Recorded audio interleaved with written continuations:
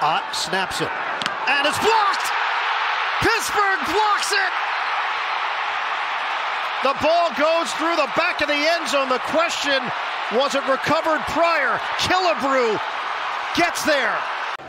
Almost gave Pittsburgh the potential for a tie game. Look at Killebrew right there. Takes it right off of his foot. And then there goes Rodney Williams, as you described, catching it, but he doesn't come down in the end zone. Look at the hustle by Williams now after the tremendous effort by Killebrew. That close to Pittsburgh kicking for a tie. But they do get the ball back on the safety after the free kick.